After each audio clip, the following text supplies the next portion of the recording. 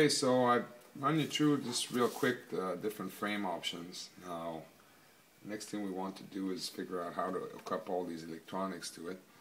Uh, might look a little bit confusing to you uh, to look at to look at this and seeing this all wired up together, but it's actually quite easy. I'll run you through it, and you should be able to get a good understanding of this. Different ways, different steps you can follow to put this together. I tend to like to put my motors on first on my frame and I move my way towards the, the front, the, the center of the board with the motors. And what I'm going to do essentially is just, you know, follow the whole pattern, screw the motors on, and then what you're going to have is three wires for your motors. Alright? And then on the ESC itself, one end of the ESC is always going to have three wires as well.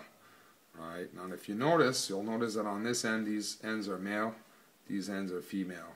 This is simply because there's no current in there when it's unplugged, and while these are hot, this is you're going to have power in there.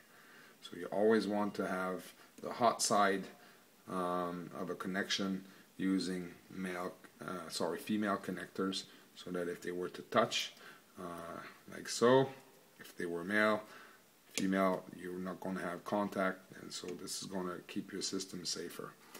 Um, so now let's just try to understand this real quick here. On the ESC, you're going to have three wires on one end, which are going to connect to your motors, right? And let's see, I'll connect them now. Just going to connect like this using bullet bullet connectors, 3.5 millimeter bullet connectors. You may have to solder these on yourself. On many of the motors and ESCs will come without the bullet connectors connected. And they look like this right? This is the female end, and you get a male end here to show you. Right, a male end will look more something like this. And uh, you want to use heat shrink on top of them. Do not use electric tape. It's no good. You're going to run into trouble using electric tape. So make sure you get the proper heat shrink to put over your bullet connectors. And they're quite easy to use. Now, you may be wondering, well, which motor, which wire will go where? At this point, we don't worry about that. We're just going to connect each of these wires onto the three connections on the ESC, and we're not going to worry which way is which. We're just going to plug any three wires together.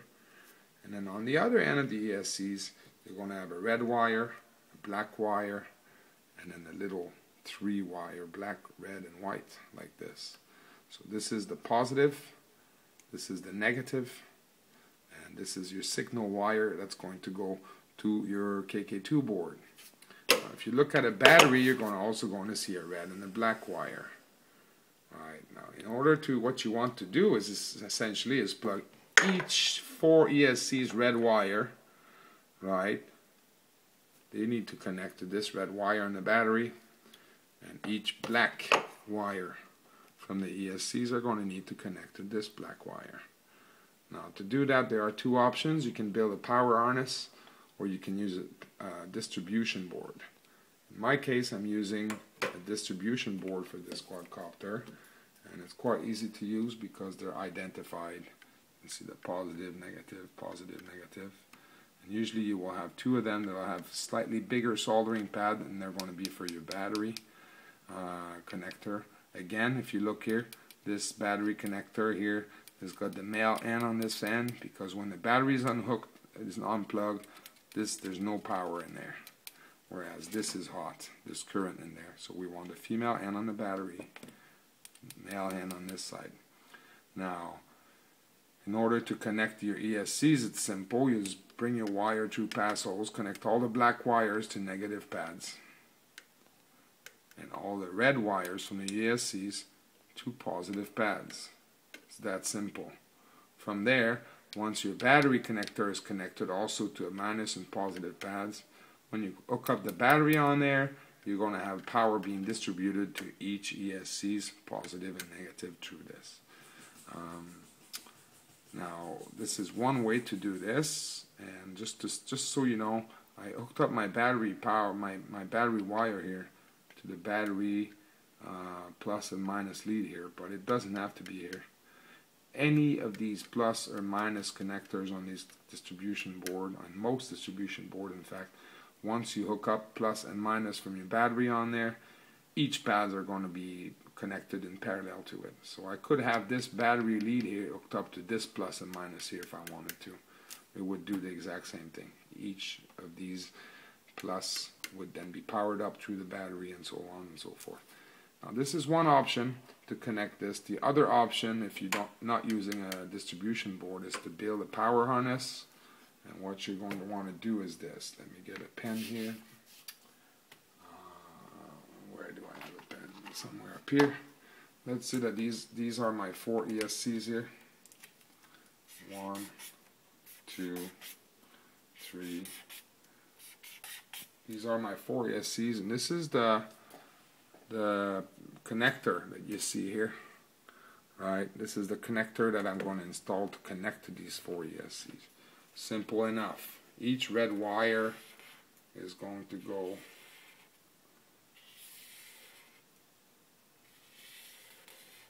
to this one here and then you want to have a solder point here and lead that one lead to your battery connector so it would look like this one two three four ESCs going in parallel to a solder point here and one lead going to your battery connector which would be here and then you want to do the same thing with the black leads to have four black leads going one, two, three, four black leads, solder point here, and the lead going to your battery there. So it would look like this.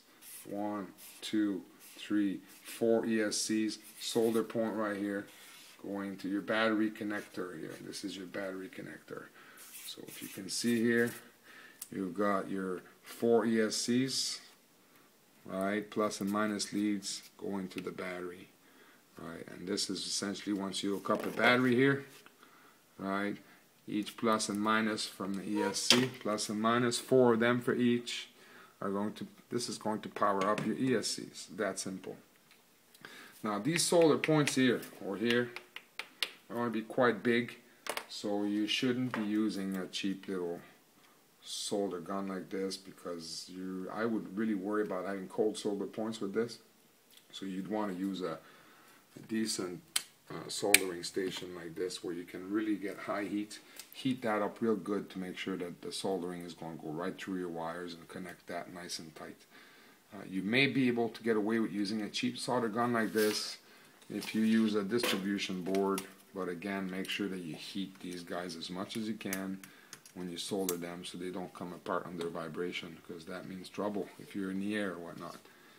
Okay, so now what I did just what I just did is showed you how to hook up your motors to your ESCs and I showed you how to hook up the ESCs right to a distribution board or to a battery connector uh, while using a, a power harness that you would build yourself using wires instead of a distribution board. Now, what we want to wonder about now is next thing we're going to have is that we want to power this up as well. This board's going to need power to it. So how is this going to get power to it? It's going to get the power to it from these connectors here. So what are these four wires here now? They are the signal wires from each ESCs. Remember, one ESC, three wires to the motors, positive, negative, and then you have the signal wire. Okay, now I've got me four signal wires here from four different ESCs. And I've labeled them number one, two, three, four. So what are these number come from? Well, it's, it's because I'm using an X-copter configuration. And what that means is the board, the, the, the, the quadcopter is going to fly forward and backward like this, left and right like this. And for this, there's a special, uh, like a specific motor layout, which you can look at the layout once you've got the, the KK board connected. I'll run you through that later, but this is going to be number one, motor number two, motor number three, motor number four, which corresponds to ESC number one, two, three, four, right? Now let me go ahead and install the kick. Oh, sorry, there's one more here. This little wire here is tiny. I hooked that, that up to my plus on my power harness. In this case, it's not a power harness like this it's a distribution board. I got uh, positive current going through that wire from the battery. And this is going to be for the low voltage alarm on a KK2 board, which will connect to this point here on the KK2 board. Um, there's uh, basically I installed a pin on there and a little connector on there, but uh, a lot of people what they do is they will just solder this wire right to that solder point there. Instead of doing that myself, I soldered a pin on there so I can unplug it, plug it back, or unplug it as I wish. So let me go ahead and put the board on there now. Just real quick, give me a second. Install that on there. These standoffs. Okay.